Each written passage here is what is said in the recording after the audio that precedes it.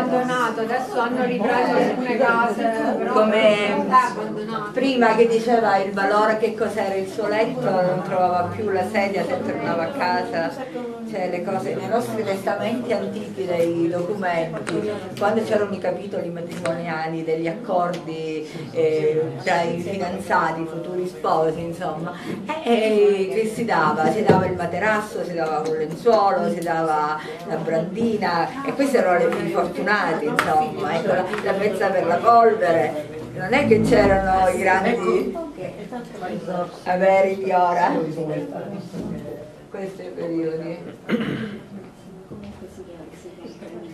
Si capisce? Sì, questo è molto bello perché il cambio...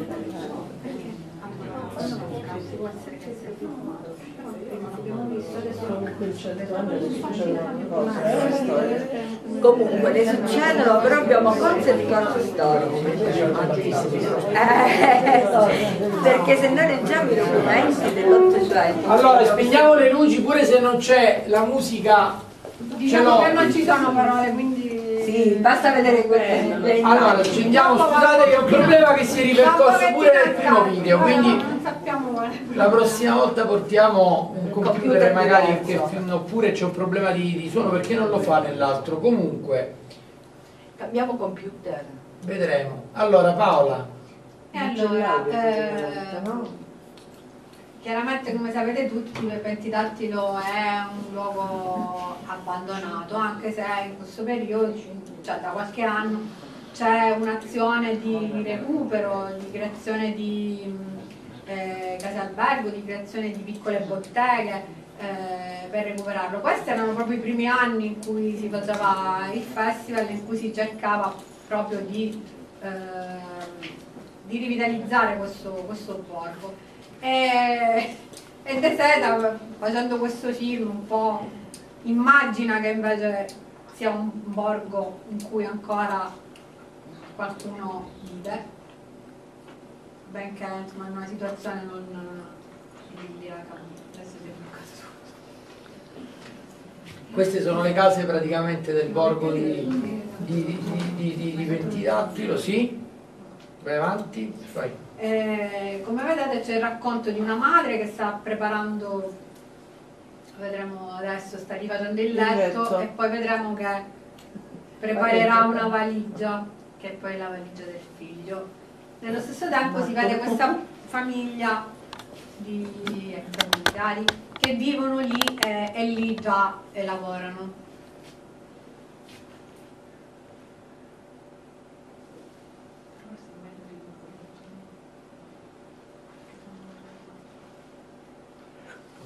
E questa integrazione anche con eh, il lavoro, la, mm, la cucina, la preparazione, eh, vediamo che praticamente questi, queste persone abitano queste case un po' diroccate, abbandonate, sempre molto suggestivo però, insomma, le quali ancora c'è molto da lavorare.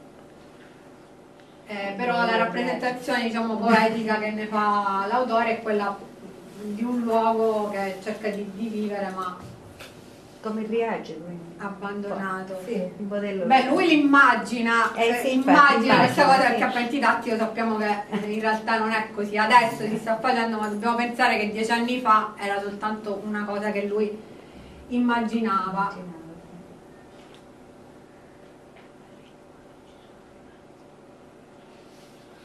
qui c'è appunto il lavoro nei campi, il giovane italiano che fa vedere al, al giovane extracomunitario come si lavora nei campi, sul trattore, eccetera. E poi sarà invece lui a lasciare, a lasciare la terra, non sappiamo se appunto è un'emigrazione di quelle di cui parlavamo prima, no? Cervelli fuga che decidono di abbandonare paesi che purtroppo non, non ci possono dare, dare nulla.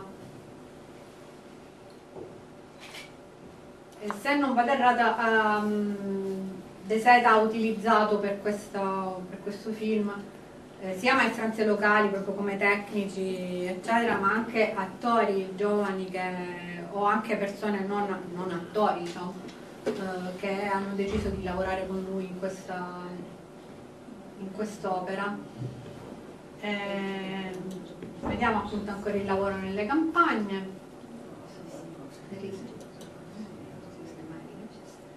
Poi c'è il momento della convivialità la sera in cui si ritrovano sia la famiglia del luogo che extracomunitaria ecco qui c'è la madre che prepara la valigia al figlio che dovrà partire il giorno dopo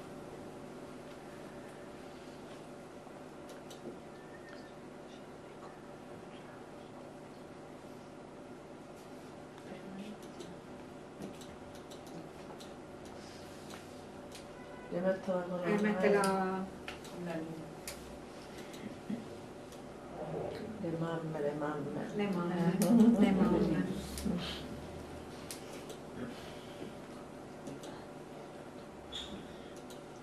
E questo è il momento della partenza la classica. Apre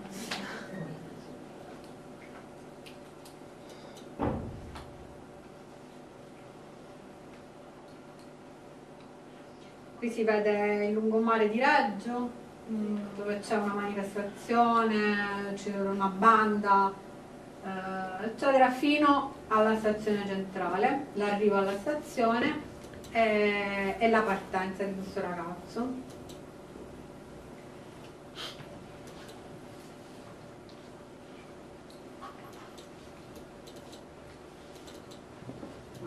Siamo già alla fine.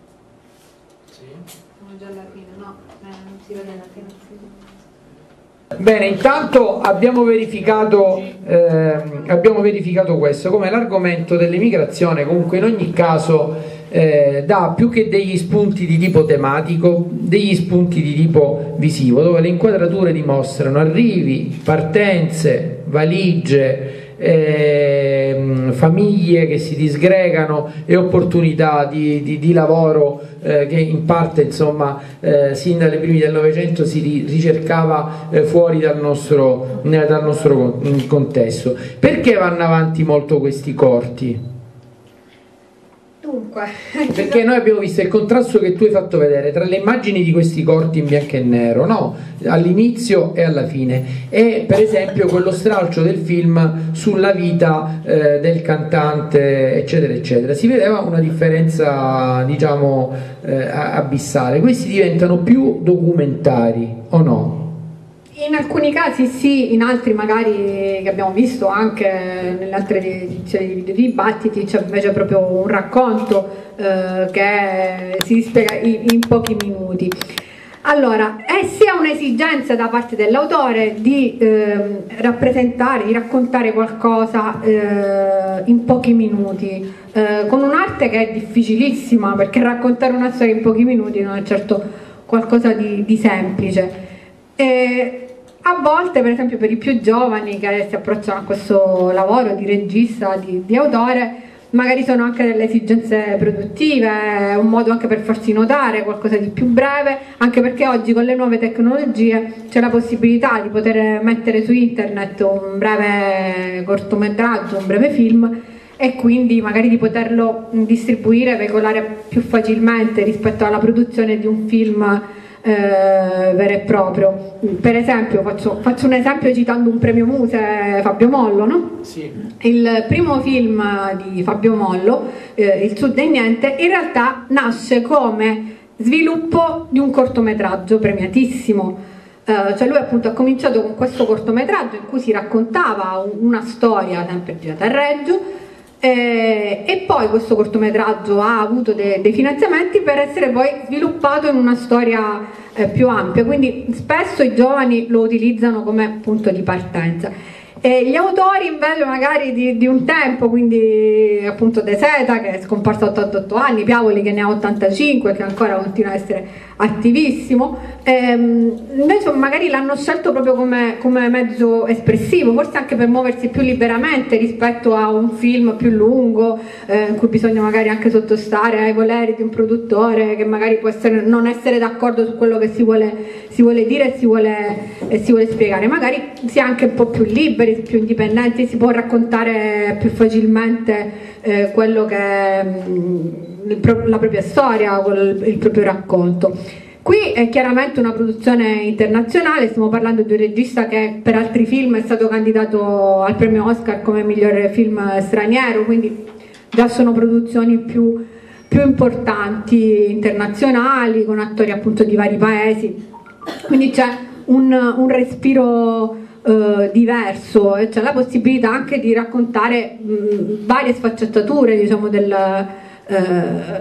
dell'aspetto per esempio appunto delle, dell'emigrazione. Eh, qui vediamo l'inizio c'è la parte proprio girata in Puglia purtroppo eh, ma la parte che racconta la vita in Calabria di questo bambino eh, e si spiega proprio come nasce questa urgenza di, di andare via di trovare Mm, una vita migliore. Quindi c'è la possibilità eh, di spiegare tanti, tanti, eh, tanti aspetti. La vita di questo bambino, per esempio, che deve vivere da solo con la madre i primi anni, eh, che deve essere responsabile no? della sua famiglia eh, prima che il padre li richiami. Insomma, sono vari, vari modi di esprimersi. C'è qualcuno che vuole intervenire, che vuole dire qualcosa, eccetera, anche perché a noi, a parte eh, cioè, le immagini sono i contenuti in un certo senso stasera per la tematica, quindi la base il sottofondo ci avrebbe detto poco rispetto a quello che è, perché in effetti abbiamo visto tre impostazioni diverse. La prima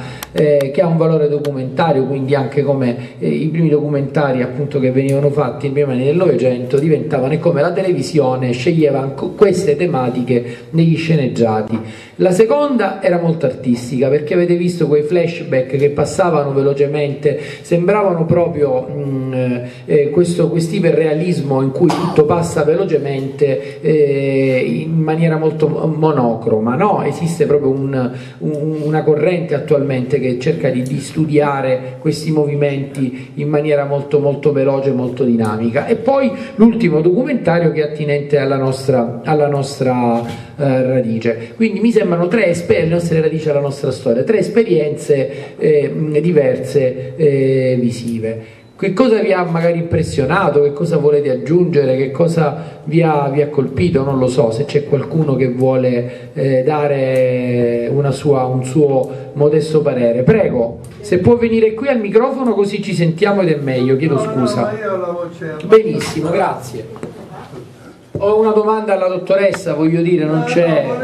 Raccontare una cosa che mi hanno raccontato nel 1975. Sì. Eh, gli emigranti calabresi partivano da Napoli, andavano col treno a Napoli dove erano sottoposti a una visita, quindi prima dell'Esisland c'era una visita a Napoli e un giovane che si era fidanzato da poco, pianse tanto per il dispiacere di lasciare la fidanzata che si stropicciò continuamente gli occhi, insomma arrivò a Napoli e lo rimandarono indietro perché pensarono che fosse una malattia degli occhi. Questo è un episodio. Un altro episodio è che lavoravano tanto perché il loro proposito era quello di raggranellare il gruzzolo per tornare in paese, farsi la casa, eccetera, migliorare le condizioni di vita della famiglia. Si ritrovavano così stanchi la sera, perché altro che straordinario facevano, che non, eh, dopo che mangiavano, un mangiare molto sobrio, molto semplice, non riuscivano a lavare casseruole, piatti, eccetera, e lasciavano lì. Un bel giorno una pentola all'interno si, si, fece un giro così di, di cose, di resti di cibo, che la, pensarono di buttarla a mare perché ormai entrava poco cibo da cuocere. e dice che questa pentola, dopo un poco che era stata buttata in mare, come un, eh, un coso, come un siluro, come spuntò dalla- dall'acqua e salì al cielo. Erano fatti... Quindi come insomma storie e leggende in un certo senso si, si- si uniscono ad avvenimenti. Quello degli occhi comunque è interessante, no? è anche un discorso di suggestione. Io feci una poesia, poi la, tra- la trasferì in poesia, in dialetto, poi se le interessa la faccio vedere. Come no, con grande piacere. C'è qualcuno, dottore Gento, prego, Mi voce. pare che è stata descritta molto bene tutta questa storia. Nel romanzo La signora di Alexis Island di Mimmo Vangeli, non so chi l'ha letto di voi. L'ha letto? È bellissimo quel libro, eh, tutto quello che ha detto. E poi un'altra cosa, ma mi pare che Rocco Granata era più o meno dello stesso periodo, coetaneo di Adamo, un altro il, il calabrese, e quello che Sì, cantava più o la meno- notte. più o meno- Perché i giovani non se lo ricordano. No, come non me lo ricordo? Me lo ricordo, me lo ricordo. Mi pare che più o meno avessero la stessa storia. Eh, sì, sempre, sempre figli di immigrati, sì, calabresi tra l'altro, sì, sì, sì, sì, quindi sì, più o meno la stessa C'è storia. un'altra cosa, che una volta noi esportavamo povertà, adesso importiamo povertà. Eh, questa è la E la differenza, che me l'ha detto qualche donna che è rimasta delusa, quando partevano i nostri, portavano le sorelle, le mamme, le cugine, ma quelle non si costituivano. Quelle purtroppo che vengono qui abbiamo qualche dubbio, perché la gelosia da noi era notevole. Beh, beh, però io per questo vi invitavo, c'è stata appunto questa recente fiction che magari molti di voi avranno visto, La vita promessa, in realtà c'erano molte situazioni di questo genere perché insomma Se era poi nel regolamento qualcosa c'era. nel regolamento qualcosa c'era e sicuramente qualcuno sfuggiva al regolamento, quindi se hanno fatto il regolamento sicuramente, sicuramente condizioni poi di questo tipo ce n'erano. E, insomma, Quelli, quelli erano attori professionisti oppure Quali? quelli dall'inizio che parlavano, quel- l'americano con i capelli bianchi, erano attori I professionisti. tre, i tre. del documentario dice lei? No, nella prima parte no, queste erano- Quando persone parlava il calabrese che raccontava la storia del militare, quello dei professionisti attori oppure erano proprio personaggi. Ma si riferisce a Marini? Ah, il, pri- no, il primo erano testimonianze di persone che avevano viaggiato sulla nave e poi appunto c'erano soldati che aveva fatto questo viaggio. Quindi eh, erano loro stessi, non erano attori. sì, sì, no, non erano attori, solo la parte finale erano attori. Attori, i tre erano attori. Nella- I tre eh, che parlavano davanti alla commissione invece quella era una ricostruzione basata su una storia eh, vera. Alla fine sì, quel- No, l'inizio no, l'inizio erano testimonianze reali. La parte finale, quando c'era la commissione con quelli che dicevano no, io per lavorare dovevano pagare, quella era invece una ricostruzione, erano attori. Solo la parte finale. La parte iniziale, le testimonianze della nave che andava su e giù, eccetera, eccetera, no, quelle erano proprio persone Hanno detto anche soldati. c'era- Esatto, c'erano anche soldati, che erano persone che avevano vissuto in prima persona questa, questa cosa, questa traversata tremenda. C'è qualcuno che Allora, vuole dire qualcosa? dire Anna Ferraro. Comunque lo sappiamo tutti, penso. Qua non possiamo fare un termine di paragone tra l'emigrazione de- dei nostri uomini che andavano via negli anni 50, parliamo del 50, e l'emigrazione di oggi. Io ho notato sicuramente che c'era molto più rispetto verso il paese che si andava ad occupare o si- dove si, vole- si voleva cercare un lavoro rispetto a quello che c'è ora, perché ora io vedo che c'è un'immigrazione prepotente come massa, parliamo di massa perché poi sempre nella massa ci sono le eccezioni. E questo è quello che è balzato ai miei occhi vedendo questo documentario. Erano umili, no? Era imposto dal paese, è eh, forse, forse magari non abbiamo avuto il Eh. tempo, diciamo, se avessimo avuto il tempo di vedere tutto Marina, perché allora io vi dico all'inizio quando ho sentito di questo film, cioè, ma la necessità di fare questo film su un racconto di questo che ha fatto fortuna sulla canzone, ma quale? Poi mi capitò di vederlo in televisione e devo dire la verità rimasi molto colpita perché appunto è un racconto alla fine di, di quello che avveniva in questi paesi che magari noi non, non conosciamo, non, sappiamo. E non era veramente, era molto difficile. Eh, appunto come diciamo dottore, magari era proprio imposto questo, delle condizioni, cioè ci sono anche delle parti in cui lui addirittura viene portato eh, in caserma perché eh, la ragazza di cui lui si era innamorato, ricambiato, eh, credo che sia la storia credo che sia vera, ehm, viene violentata.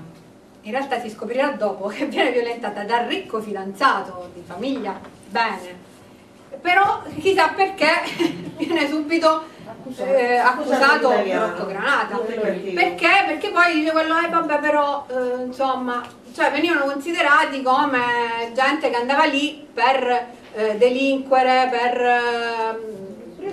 eh, con l'italiano no? quindi non è stato neanche eh, da parte loro facilissima questa, questa cosa perché la, l'integrazione non è stata semplice da parte loro. Poi come loro si ponessero, sì, probabilmente loro appunto erano anche un po' terrorizzati da questa eh, situazione di poter essere magari subito accusati perché eh, visti male l'italiano, non dimentichiamoci poi che magari appunto l'italiano veniva sempre eh, equiparato a... Tragedia di Marsinelli, non ha parlato sì. nessuno. No, no, no, cioè nel film c'è, io non l'ho citata. Eh, poi praticamente c'è anche il discorso che eh, appunto veniva sempre visto male l'italiano perché magari in America aveva esportato anche altro, aveva esportato purtroppo i nostri documenti e riportato. Quindi come? Prego, scusate così. Ho appena citato all'inizio il cammino della speranza, nel cammino della speranza entrano come clandestini e vengono fermati alla frontiera perché considerati clandestini ma poi diciamo il film finisce, finisce bene diciamo, per cui le guardie si impietosiscono e li fanno passare, c'è un bambino eccetera eccetera. Però il cammino della speranza è proprio quello cioè ci fa vedere non voglio fare il discorso insomma eh, ci fa vedere proprio questo che allora anche, anche noi eravamo considerati magari clandestini quando eh, c'erano delle situazioni particolari, insomma, eh, loro cercavano di passare clandestinamente, non potendolo fare. Eh, è un discorso diciamo, molto ampio non, nel quale non, io mi attengo a un discorso più artistico, ecco. Dis nel discorso artistico ci sono mh, varie situazioni che comunque vengono riportate perché sono delle situazioni molto sfaccettate.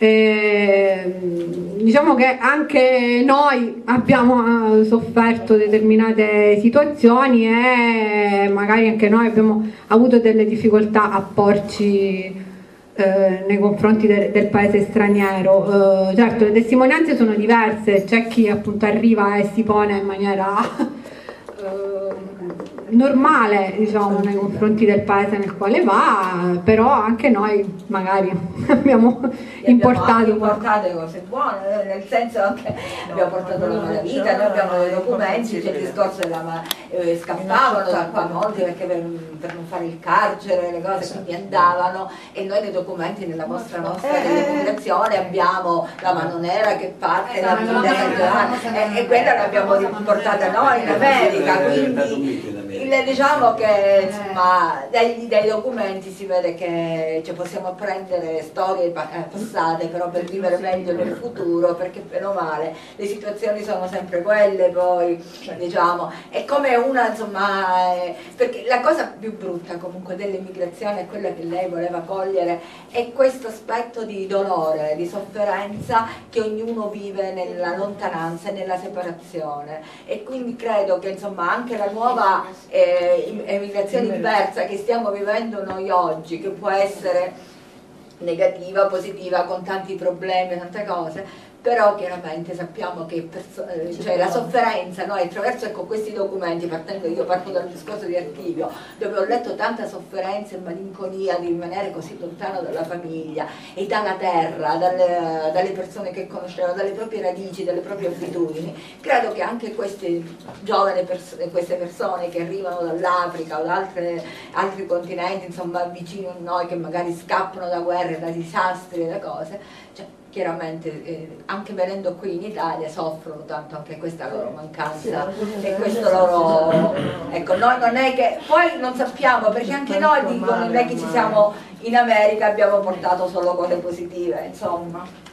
Credo che questa sofferenza sia ovunque. Pina Calabrò cioè, io raccontavo appunto questo, questo episodio abbiamo raccontato nel film per dire che l'italiano non era visto bene nel senso che subito pensarono sì è stato, è stato lui. Poi dopo è come perché magari no, non è che magari tutti gli italiani si erano comportati bene andando a nord voglio dire c'era questo al nord per esempio fino a qualche anno fa non so c'era la scritta non si fittano case no, meridionali purtroppo abbiamo esempio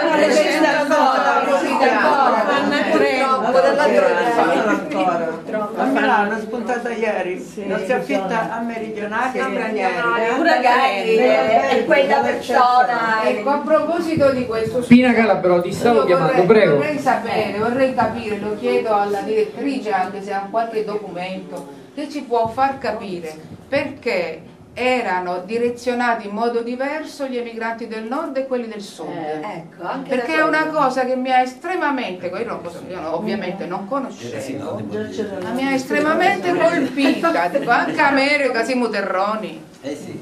Sì. Com'è questo fatto? Noi come documenti qua abbiamo i nostri, diciamo. Pure i veneti erano poverissimi come No, eh, sono stati loro prima di noi andare fuori, poi tirare fuori. Però il problema noi nasce perché noi veniamo dopo la guerra, dopo l'unità d'Italia, scusa, dopo l'unità d'Italia noi veniamo e da là noi diventiamo poveri, diventiamo diversi, cioè perché è stata un'annessione loro, certo, diciamo, certo. dai nostri documenti. Questo è da sottolineare. E questo dai documenti si evince questo perché noi non è sì, no, stiamo parlando del discorso della differenza tra nord e sud che le, anche noi cioè l'italiano del nord veniva, aveva una fila e noi un'altra ma non era che perché solo per mafia era un discorso anche tra, tra di noi che c'era questa forma di divisione perché l'unità d'Italia avviene dopo la prima guerra mondiale insomma nessuno quando vanno al fronte la prima guerra mondiale nei documenti che noi abbiamo questi giovani non si riuscivano nemmeno a capire perché parlavano dialetti diversi e quindi è, questo è, cioè noi non, non siamo mai stati uniti l'unità d'Italia non c'è neanche direi ma almeno adesso parliamo la stessa lingua abbiamo la stessa moneta la stessa lingua abbiamo le stesse televisioni e basta la televisione che ha unificato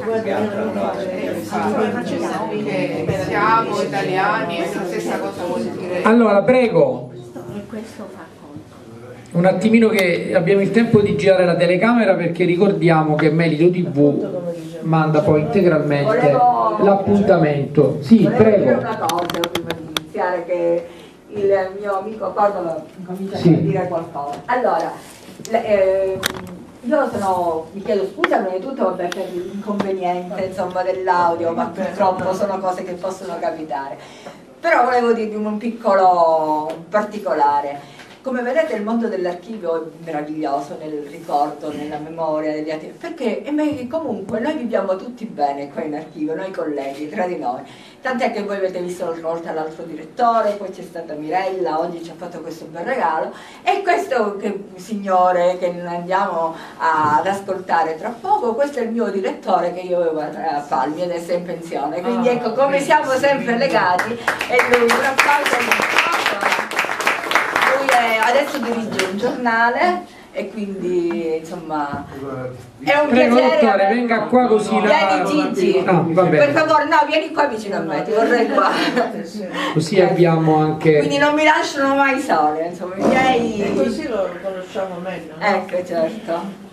Un attimino per la telecamera ecco qua. Così diciamo prego il microfono.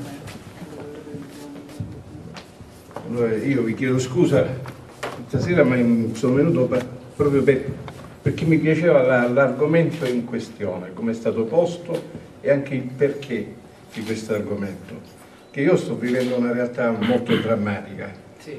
che è quella della piana del Tauro, dove noi abbiamo diciamo, la, la popolazione che vive, gli immigrati che vive peggio di qualunque altro posto, vivono in tendopoli. Io la prima esperienza che ho vissuto l'ho vissuta grazie al Vescovo Milito, Certo. avendo io un giornale, il Corriere della Piana, che è un mensile, e mi pregò di poter fare un appello, perché stava, stava arrivando il periodo invernale, per raccogliere delle coperte e viveri da offrire a questi immigrati, con la certezza da parte sua e nostra che il fenomeno della tendopoli andasse a sparire. Io purtroppo oggi devo dire che invece non è sparita, ne sono diventate tre le tendopoli e addirittura la gente che viveva prima attorno alle tendopoli, alla prima tendopoli, il, il parroco Don Roberto Meduri, una persona che sta vivendo costantemente il dramma di questa gente e lui il punto di riferimento per tantissimi di questi giovani che vengono qui nella speranza di trovare un po' di pace ma non la trovano. Io ci sono stato con Don Roberto a portare delle coperte, siamo andati di notte e dei sacchi a pelo per poter dormire e siamo andati per darle di notte con la torcia a rischio mio perché era la prima volta che entravo, c'è anche la differenza, là ci sono gente di sei nazionalità diverse che vengono dall'Africa. Il dramma è che mi sono visto contornato da queste persone e il parroco si era allontanato per parlare perché c'è dentro questo, questo capannone dove eravamo andati, che era una vecchia fabbrica mai entrata in funzione, una delle tante quelle fabbriche della 488. Le chiedo che- scusa, sono quelle mentre si va la strada per Tropea No, praticamente no, no, sono quelle nell'area, nell'area di San Ferdinando. nell'area di San Ferdinando. Lì ci sono tantissime industrie che sono state fatte con la legge 488 e sono industrie che sono state fatte da industriali del nord che sono venuti, hanno truffato lo Stato italiano e sono andati via in maniera indenne. Cioè io speravo che quando, eh, dal momento dell'insediamento dell'attuale procuratore a Palmi si andasse a riprendere questo filone perché noi veniamo sempre utilizzati dal nord come persone poco oh, raccomandabili. Ovunque andiamo, io ho vissuto anche un'esperienza drammatica per mia moglie che durante la- un periodo di insegnamento a Chiari, in provincia di Brescia, Sì. appena arrivata, una delle più grosse famiglie del Bresciano di Chiari, addirittura ehm, mi vergogno a dirlo, di una delle grosse case di produzione di macchinette da caffè. Eh, rifiutava assolutamente che ci fosse un insegnante per suo figlio di meridionale.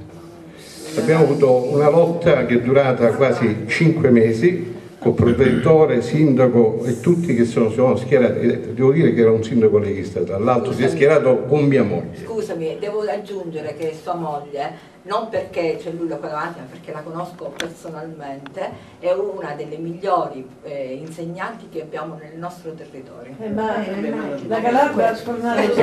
Ora, il, il problema è che mi sono, praticamente questa esperienza l'ho vissuta in prima persona, però la cosa più bella, diciamo la soddisfazione più bella per mia moglie è avvenuta dopo due anni, quando il bambino ha avuto esiti ultra positivi e andava benissimo con l'insegnante meridionale.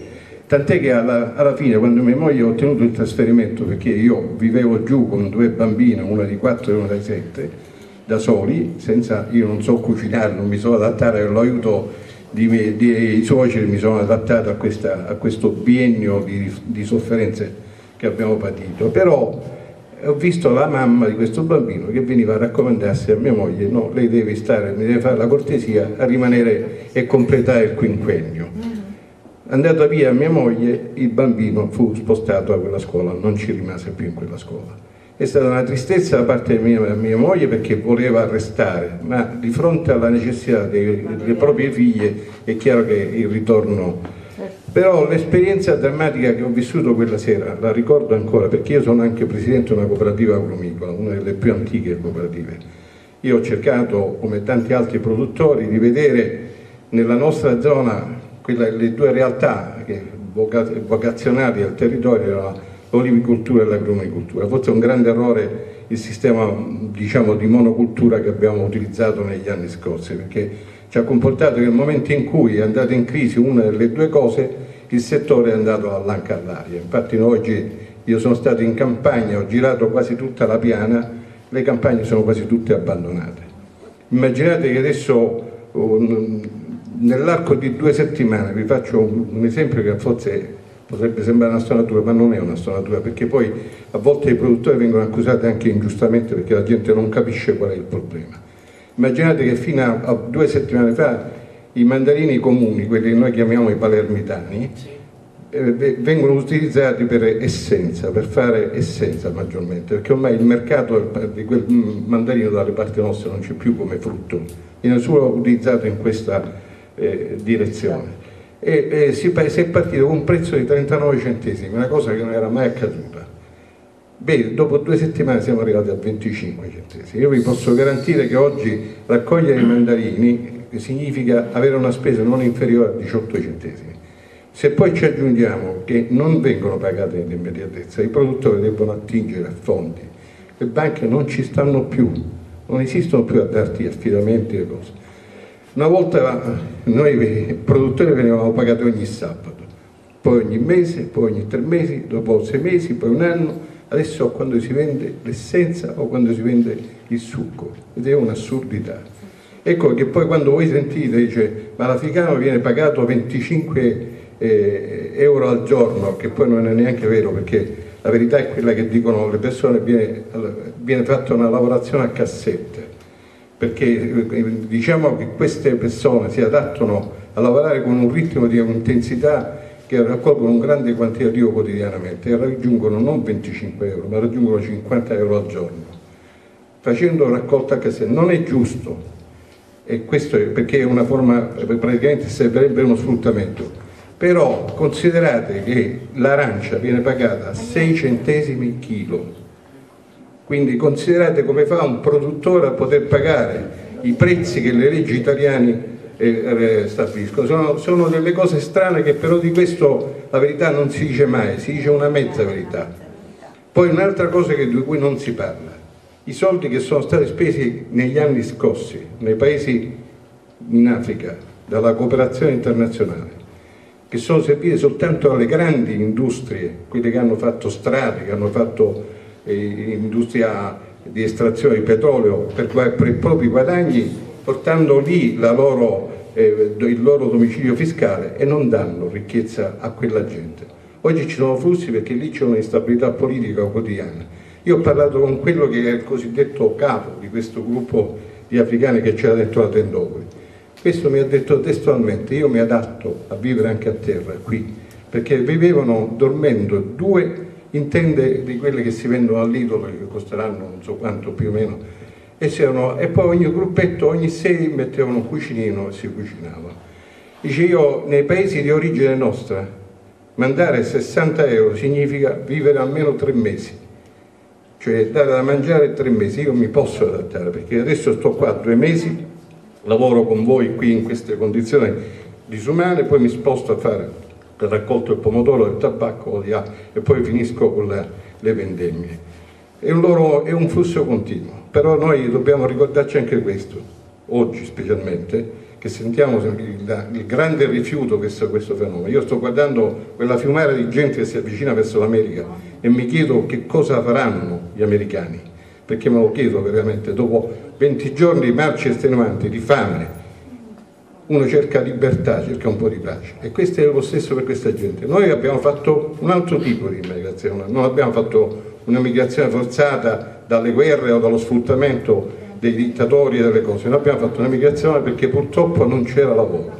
Abbiamo avuto un periodo di guerre, un periodo di dittature e abbiamo avuto anche un buon periodo di ripresa che poi purtroppo come tutte le cose con le crisi economiche va tutta all'ancalaria. Il settore agrumicolo è andato in crisi paradossalmente per una sciocchezza fatta a Rosario, perché prima le arance venivano pagate bene, le, le, le, diciamo, rifornivamo quasi sempre la Coca-Cola per fare la Fanta, poi non, non voglio pensare, un pazzoide sparò palletti, eh, con, con, i fucili a palline sulla coscia un africano è successa la sommossa di Rosarno, quindi la guerra, e la Coca-Cola fu accusata di sfruttare gli emigrati e quindi ha tolto tutte le commesse da quel momento. Dottore, io le voglio raccontare un episodio che non va, non va a favore ma va contro la situazione.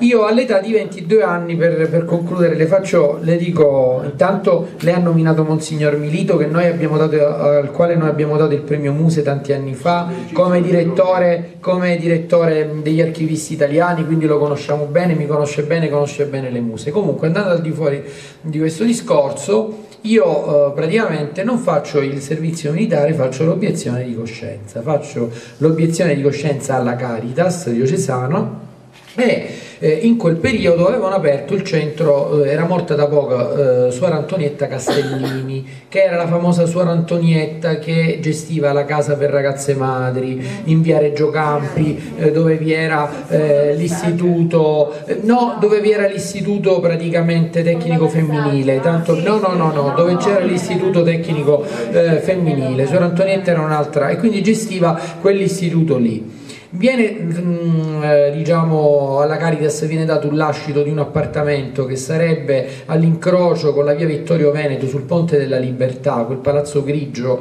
che si vede dove c'è l'antico pastificio abbandonato sulla sinistra, e allora viene subito intestata una casa a Sor Antonietta Castelliti.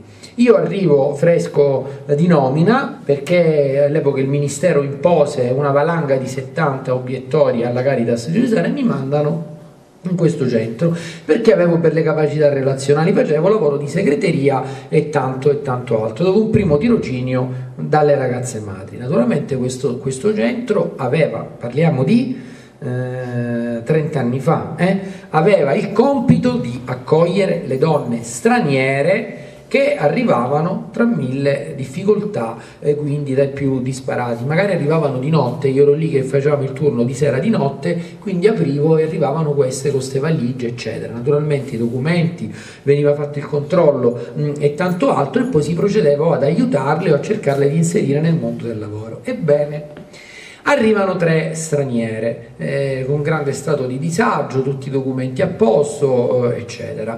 Ehm, eh, naturalmente siamo riusciti a trovare eh, una sistemazione eh, mandandole la mattina a raccogliere le arance in quella di Rosarno. Quindi io ogni mattina le accompagnavo alle 6 alla stazione, eh, le prendevo la sera con un rituale che durò eh, circa un mese, un mese e mezzo. Una sera la suora, che era la referente, suor Giulia Pavin, mi ricordo bene che veniva dal nord, quindi era un comandante, dice ma io non le vedo stanche queste signore quando, quando tu li porti.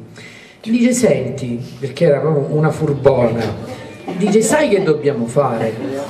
Dice una mattina alle 6 prendiamo due macchine, tu le accompagni alla, poi ci vediamo, avevamo una 127 azzurra, ma di quelle proprio, eh, dice poi andiamo con la tua macchina, noi dobbiamo eh, seguirla perché sapevamo dove dovevano andare a lavorare e via dicendo. Ebbene, le tre signore non andavano a raccogliere le arance, ma andavano a prostituirsi. Le abbiamo beccate, mi ricordo la, la superiora, eh, si, si, era portata il classico, credetemi, il classico legno della scopa in macchina. Questa, questa, è storia, non so, io mi prendo la responsabilità di quello che dico, è scesa con il legno della scopa per, e mi ricordo, trovarono, appena rientrammo in, in istituto, gli fece trovare eh, delle valigie con tutte le cose fuori da là. Ecco per dire come poi ci sono questi casi che fanno crollare, poi magari lei, ecco, con tanta giustamente passione, enfasi dopo quello che fa, eccetera, poi ci sono questi casi, tra virgolette, legalizzati, perché uno cerca di aiutarle, queste signore in effetti avevano i documenti in regola, avevano bisogno di aiuto e già i soldi li avevano presi nelle prime settimane di lavoro, eccetera, eh, perché erano andate i primi giorni a lavorare, poi chiaramente trovarono sistemazione diversa, però come per dire, come anche nell'immigrazione poi ci sono queste casistiche e questi, questi, casi. Ma al momento voi avete bisogno di aiuto come eh, per gli stranieri, perché mi è sembrato di capire che cercate di... No, io non è che parlo semplicemente io, vorrei, io ho vissuto questa eh, amarezza che ancora non riesco a smaltire perché prima di questa esperienza ho fatto anche un'altra nei vostri campi Roma quando c'era Morelli la, la, la, pattuglia di Zingari e compagnia sì. bella. All'epoca andavo a insegnare eh, e ho avuto anche la fortuna di un ragazzo che oggi fa il panettiere che mi ringrazia sempre per, quel, per quei sacrifici. Io la mia vita mi sono dedicato sempre al sociale in tante maniere. Una, questa è la, la cosa più importante che ritengo oggi eh, le, le, forme di immigrazione che mi stanno colpendo sono queste e quella purtroppo io ho fatto il giro oggi della parte alta dell'entroterra di Santa Cristina e compagnia. Per esempio Santa Cristina è un comune che si è ridotto a 500-600 abitanti. Per poterlo raggiungere ci ho sudato 70 camicie perché è nel completo abbandono con due ponti che rischiano di cadere da una parte e dall'altra. Nella insensibilità noi non abbiamo più né cantonieri né aziende private che vanno a pulire le cunette, le, le, le fosse nelle strade sono una, una cosa costante e continua. Ieri ne abbiamo parlato con l'assessore alla viabilità della comunità della città metropolitana e giustamente ognuno dice i, fondi che abbiamo, le deleghe che ci hanno date sono minimali, non sono quelle che noi dobbiamo avere rapportandoci, siamo partiti con due anni e mezzo di ritardo in confronto alle altre città metropolitane. C'è sempre un qualcosa che eh, si pone come freno nei sistemi della Calabria. Quello che sto vivendo, il dramma è che io ho mia figlia, anche le lauree oggi servono a poco. Mia figlia è finita come psichiatra insieme al marito che era internista reumatologo in Inghilterra. Dopodiché mia figlia non ce l'ha fatta, è ritornata e oggi me la vedo a fare la psichiatra con una nomina a sei mesi rinnovabili al manicomio, l'ex manicomio criminale di Barcellona Pozzo di Conto. Immaginate voi la, la, la differenza e il marito che è reumatologo, che è internista e con tanto di dottorato di ricerca con due riconoscimenti al MIUR, vive all'ospedale di Pilazzo con una nomina assenista. Allora mi domando se neanche la laurea qui in medicina è sufficiente per avere un posto di lavoro fisso, è chiaro che i nostri giovani sono destinati ad andare fuori ha voglia che parliamo sempre... Si parla di regionalizzazione. E parliamo però, però il paradosso, ecco, il mio intervento è questo, noi abbiamo una ricchezza che non sappiamo sfruttare. Perché Dio ci ha dato un territorio ricchissimo per quello che sono le doti della natura, però non ci riusciamo, ma non solo io ne puoi dire, signore, io la cooperativa me la sono creata da solo, no, io ho messo 132 soci dentro e abbiamo lavorato benissimo, è l'unica cooperativa che non ha lasciato debiti, tante altre invece sono in situazione catastrofica, perché bisogna saper gestire e affrontare le realtà. Io il problema che pongo oggi all'attenzione di tutti quanti noi è che prima cosa ci dobbiamo ricordare che il primo punto d'approccio per chi viene dall'Africa purtroppo è l'Italia che viene considerata non un miraggio ma una tappa di passaggio, malgrado noi, eh, da noi la gente viene però alla fine è costretta a rimanerci. E se noi non avessimo gli stranieri, gli anziani, perché i nostri paesi dell'entroterra tra un paio di anni saranno composti solo da anziani, io ho 70 anni, tra un paio di anni avrò bisogno anch'io di una badante perché non ci, sarà, non ci saranno i nostri figli a badarci ci sarà un discorso Pina Calabro, un intervento così andiamo. Grazie dottore. Prego, si accomodi qui, si accomodi qui Lina. le condizioni di vita di queste persone ovviamente come ci ha ben illustrato questo nostro il dottore Cordo. dottore, eh, non sono delle migliori sicuramente. Eh, molti vorrebbero anche ritornarsene tornare indietro. Beh, questo non è possibile. Rientrare in Africa per queste persone non è possibile. E questo a chi lo dobbiamo secondo voi? Alla scarsa lungimiranza di chi ha fatto certe leggi, di chi insomma vede questa categoria come una specie di ruota di scorta del nostro schiavismo, dello schiavismo moderno. Perché se possiamo permetterci di tenere bassi salari anche i nostri, è perché c'è questa scorta di riserva che serve al ricatto. Queste persone non possono rientrare anche se tornassero in Libia, non c'è manco il taxi a pagamento, diciamo, per poter tornare verso il Golfo di Guinea. È una situazione, insomma, per cui l'Europa continua a usarli, anche qui. Io devo dire che insomma la finalità stasera era quella di dibattere sull'argomento e ce l'abbiamo fatta quindi chiaramente l'ora si è fatta pure, sono le, le 20 e 15 di conseguenza è. Noi vi ringraziamo, non so se qualcuno vuole proprio dire l'ultima cosa, se non vorrei cacciare la parola a nessuno, ma il dibattito è ampio e ci ripromettiamo magari poi di fare un approfondimento, anche perché nel mese poi di maggio ehm, faremo una vera e propria tavola rotonda in cui ci saranno tutti gli argomenti eh, che eh, diciamo cambieremo. Nel mese di dicembre per esempio parleremo del cibo, perché dicembre insomma ha sempre questo rapporto no? col periodo delle feste eccetera, quindi ogni mese avrà mh, la sua peculiarità e il suo argomento. Quindi eh, l'esperimento è riuscito, ci ripromettiamo di eh, migliorare il suono e le immagini per la prossima volta, ma naturalmente buona la prima lo possiamo possiamo dire. Ringraziamo eh, Maria Fortunata Minasi per l'accoglienza qui all'Archivio di Stato, Paola Benavoli che cura eh, questo eh, ciclo, eh, così come mh, mm, Melito TV che con Francesco Logoteta ecco, ha ripreso integralmente il nostro, il nostro, evento, poi alla fotografia praticamente la segretaria Rosaria Livodia, per rapporto con i soci la nostra Eleonora, Eleonora Praticò, quindi abbiamo un po' eh, tutte le, eh, diciamo, ricostruito un po' le nostre le nostre figure. Vi diamo l'appuntamento domenica prossima, eh, domenica parleremo del rapporto ehm, tra la vita e la morte, l'argomento sarà la vita oltre alle muse, presenteremo una storia molto particolare tra l'altro di una eh, donna che è di Palmi, di Patrizia Pipino, quindi questo è l'argomento generale e che ehm, verrà eh, raccontato eh, come eh, diciamo, noi solitamente impostiamo gli argomenti, ci sarà anche un momento dedicato alla danza, ma anche quel momento dedicato alla danza ha una storia. Ci sarà Samuela Piccolo, ci sarà Antonio Nicolò che è l'anatomopatologo, ci sarà l'avvocato Rocco Iorianni che viene direttamente da quel eh, di Palmi Santino Salerno, che è uno dei critici insomma, di chiara fama del, del, del premio Palmi e eh, non solo, è eh, l'autrice eh, di questa storia molto particolare, La vita oltre. Per il resto ve lo racconteremo il prossimo appuntamento. Arrivederci e buona serata.